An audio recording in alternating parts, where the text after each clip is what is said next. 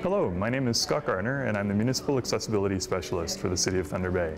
The Accessibility Advisory Committee is building on the RESPECT initiative by turning the focus to issues faced by people with disabilities. By highlighting the issues that they face daily, the hope is to raise awareness of how people should treat one another and create a more positive community that celebrates our differences and builds respect in all aspects of city life. Respect breaks down barriers. This is Maurice Rubenick. He is a member of the Thunder Bay Accessibility Advisory Committee and represents seniors with a disability. He became disabled 25 years ago through a workplace accident. Since then, his mobility depends on a self propelled wheelchair, and he has faced many challenges through the years. Some of the barriers I face in a manual wheelchair people spitting when they come out of front doors of buildings. And on the trails around town, the walking trails where people are supposed to get exercise, the people who walk their dogs there don't clean up after them. It's a, it's, it's a problem because I, I use my hands for manual wheelchair. And when you run into the pile of that stuff, you got to make sure you got enough Kleenex on you to clean yourself up to get out of the way.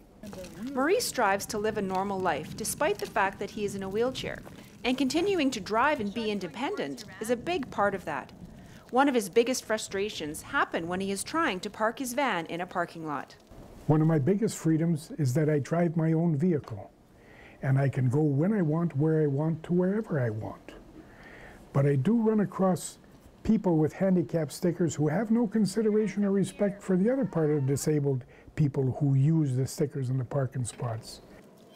Because of his wheelchair, Maurice needs a lot of space on the side of his van in a parking spot in order to maneuver himself in and out of his vehicle. When you work into a small parking spot, in my case, because I get out of the van with a wheelchair, you have to park kind of on an angle to make sure nobody blocks you in.